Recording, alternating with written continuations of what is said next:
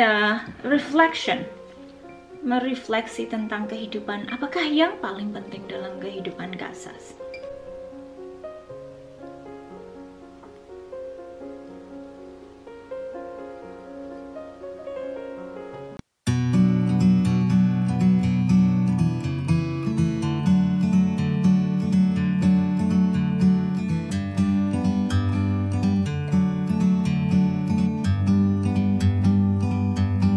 bird on a tree.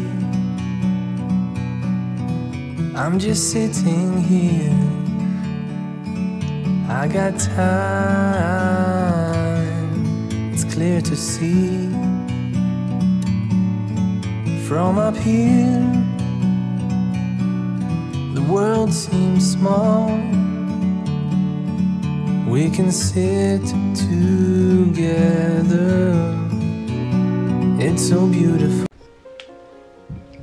Hai guys, apa kabar kalian semuanya? Welcome di channelnya Kak Sas Welcome back untuk kalian yang udah biasa nongkrong Kali ini Kak Sas mau sedikit cicat sama kalian And uh, sambil kita potong bunga ya Tadi Kak Sas beli bunga di Aldi Dan saya mau rangkai sama kalian Bukan merangkai, maksudnya mau potong taruh dalam ke vas ya Sambil cicat sebentar aja ya.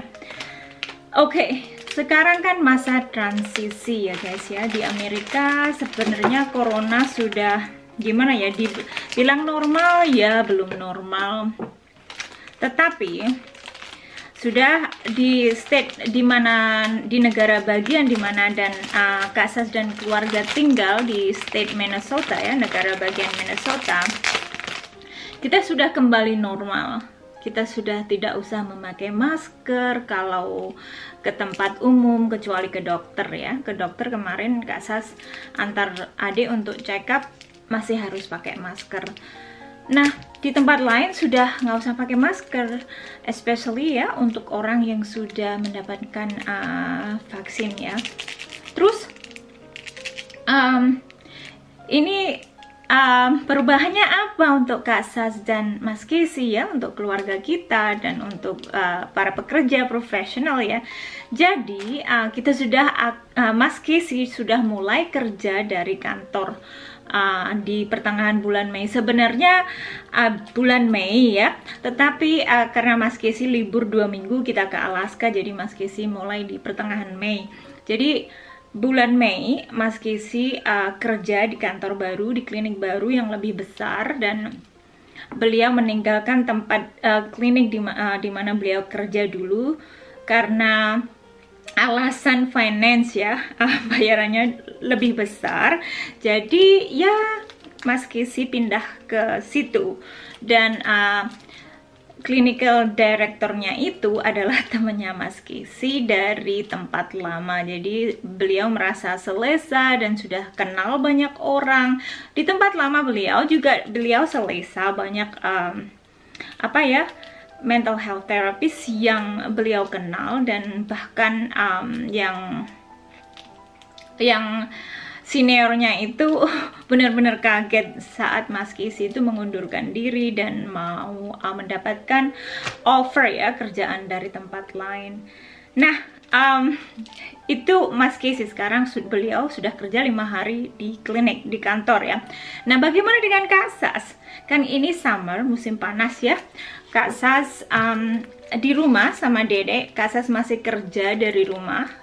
Uh, dan Dede sekolah udah selesai ya. Dede udah selesai grade 1 atau kelas 1 SD Dede na naik kelas 2 SD sekarang ya. Dia umur tujuh setengah tahun nanti bulan Jul Juli nanti ya.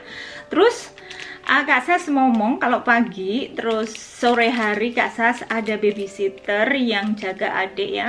Kak Sas mulai um, kasih konsultasi ke konsultasi ke pasien atau ke klien itu mulai jam 1 sampai jam 5 jadi uh, jam 5 Kak Sa selesai Mas Kisi pulang, babysitternya pulang, saya masak dan mulai family time ya. Jadi Kak Sas kerjanya setengah hari.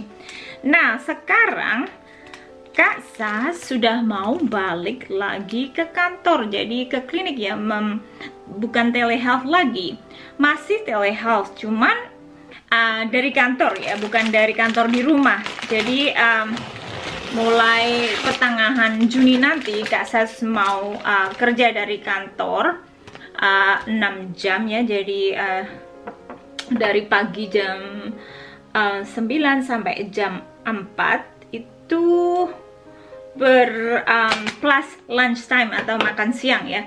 Jadi Kasas akan memerlukan uh, babysitter lebih lama lagi, maksudnya bukan dari jam 1 sampai jam 5 ini dari jam 9 sampai jam 2. Ya begitulah. Um, apa ya proses transisinya jadi uh, nanti Kasas update lagi bagaimanakah keadaan bekerja dari kantor dan uh, bukan dari rumah lagi uh, menurut Mas Kisi pengalaman Mas Kisi sekarang beliau kalau ada pasien um, bisa memakai masker kalau sakit ya kalau tidak uh, tidak usah memakai masker di dalam ruang konsulta uh, konsultasi. Tetapi kalau di ruang umum, di ruang tunggu tetap harus pakai uh, masker ya. Begitu juga di tempat uh, ke dokter ya, klinik, ke rumah sakit, begitu juga. Anyway, ini sambil bincang-bincang saja dan uh, perubahan dalam hidup uh, di sini di Amerika saya dengar di Indonesia dan di Malaysia mau, masih belum normal lagi kehidupan karena corona ya. Bisa dibilang ya, uh, corona ini apa sih hikmah yang Kak Sas ambil dari corona ini ya? Hikmahnya ya, menurut Kak Sas sih banyak uh, introspect, instro, uh, reflection merefleksi tentang kehidupan apakah yang paling penting dalam kehidupan Kak Sas? Men, um, apakah yang uh, Kak Sas nomor satu kan prioritas? Kalian nampak nggak hitungannya tuh dia. Prioritas apa? Dan mungkin saya juga belajar di masa pandemi ini karena Kak Sas di rumah dan masak untuk Mas Kisi tiap siang makan siang bersama. Jadi Kak Sas bertambah berat badan karena kalau di kantor kan kalau Mas Kisi makan di kantor, Mas Kisi um, uh, tidak pulang ya biasanya kalau makan siang. Jadi sekarang uh, waktu pandemi satu tahun itu hampir satu tahun setengah ya dari Maret tahun 2020 sampai April 2021 jadi setahun lebih lah ya.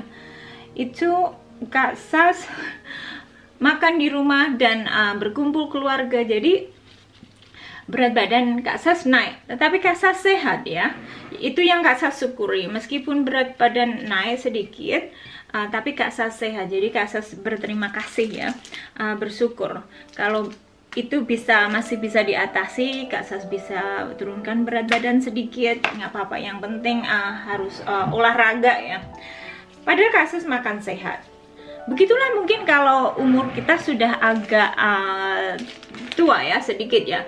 Kak Sas 40 tahun um, kita agak berkesulitan untuk menurunkan berat badan tidak seperti dulu lagi waktu Kak Ses umur 20-an ya.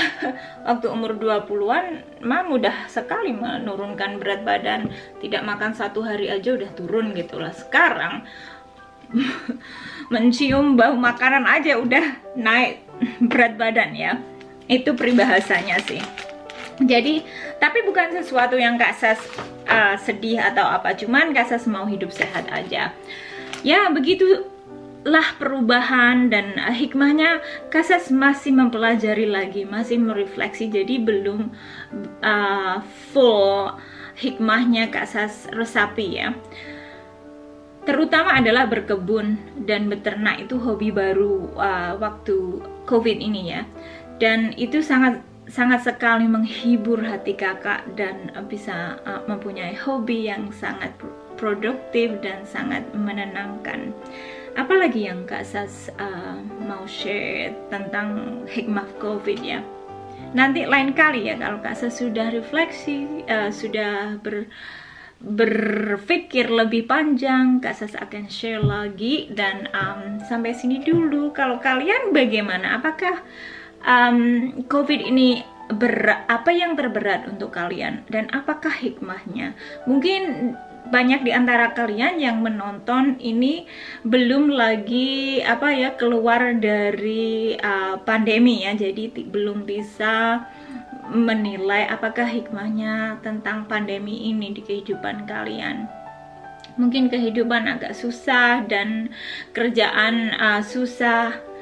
Ya, mungkin itulah sebagian dari kehidupan. Tetapi apa? Tuhan itu memberikan kita dengan kekuatan untuk berusaha dan berpikir.